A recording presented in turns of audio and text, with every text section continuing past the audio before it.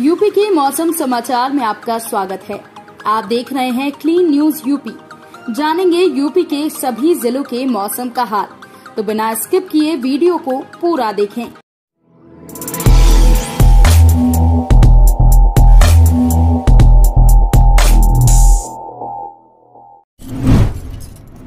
चलिए जानते हैं, आने वाले दो दिन, यानी कि 8 और 9 सितंबर को यूपी में उत्तर प्रदेश में मौसम कैसा रहने वाला है? कहाँ पर बारिश की संभावना है? तो कहाँ पर? बारिश को लेकर थोड़ा इंतज़ार करना पड़ेगा। लेकिन उससे पहले जानते हैं, प्रदेश का तापमान, यानी कि प्रदेश के कौन से हिस्से में तापमान ज़्यादा बना हुआ है? कहाँ पर तापमान कम रिकॉर्ड किया जा रहा है? तो आपको बता दें कि प्रदेश के अधिकतर जिलों में अभी मौसम हल्का सा सुहाना बना हुआ है, क्योंकि कुछ जिलों में बारिश हुई, जिसके बाद रुक रुक कर हो रही बारिश से कई जिलों में मौसम सुहाना है।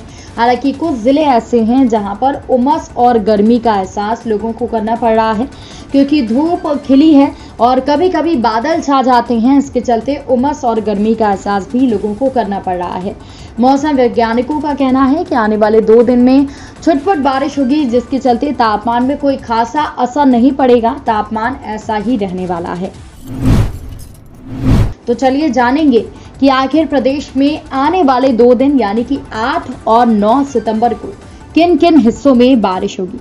तो आपको बता दें कि प्रदेश के कुछ जिलों में बारिश की आशंका है।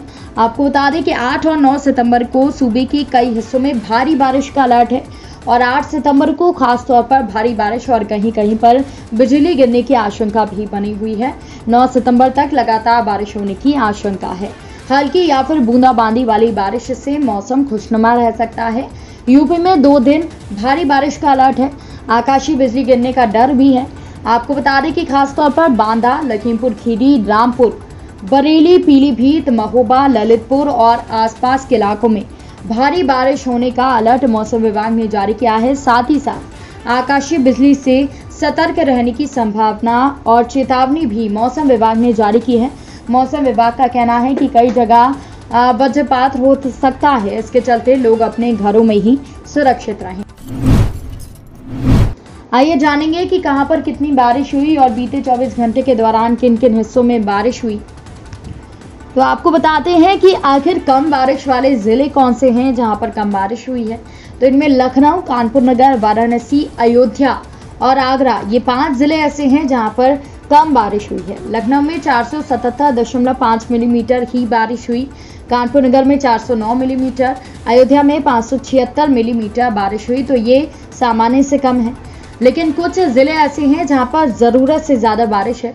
इसमें महाराजगंज, खीरी, चित्रकूट, श्रावस्ती और गोरखपुर शामिल है। आपको बता दें कि गोरखपुर में भी बाढ़ जैसे हालात हैं और यहाँ पर सामान्य से ज़्यादा बारिश होने से हालात बिगड़ गए हैं।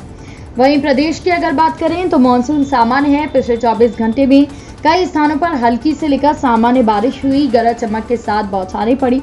तो पश्चिमी अंचल के कुछ जिलों में हल्की फुल्की बारिश हुई। वहीं आपको बता दें कि कई जिलों में सूखे जैसे हालात हैं। राजधानी लखनऊ, सीतापुर, हरदोई समेत मंडल के ज़्यादातर जिलों में सूखे जैसे हालात हैं।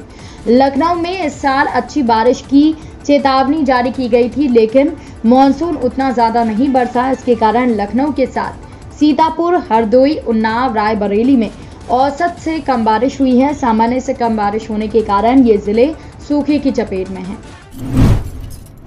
चलिए जानते हैं कि कहाँ कहाँ पर हालात बिगड़ गए हैं? तेज़ बारिश हुई है तो आपको बता दें कि सिद्धार्थ नगर, गोरखपुर। ये दो ऐसे ज़िले हैं जहाँ पर बाढ़ से हालात काफ़ी ज़्यादा ख़राब हो गए हैं। यहाँ पर सामान्य से ज़्यादा बारिश ने लोगों की मुश्किलें बढ़ा दी हैं।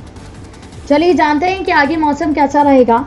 तो मौसम वैज्ञानिकों के मुताबिक पूरे भारत के गंगा के मैदानी इलाकों में हवाएँ बदल जाएँगी और दिल्ली एनसीआर के साथ इस क्षेत्र में हवाएँ चलेंगी, जिसके कारण 9 सितंबर के आसपास दिल्ली और एनसीआर में फिर से अच्छी बारिश की उम्मीद है।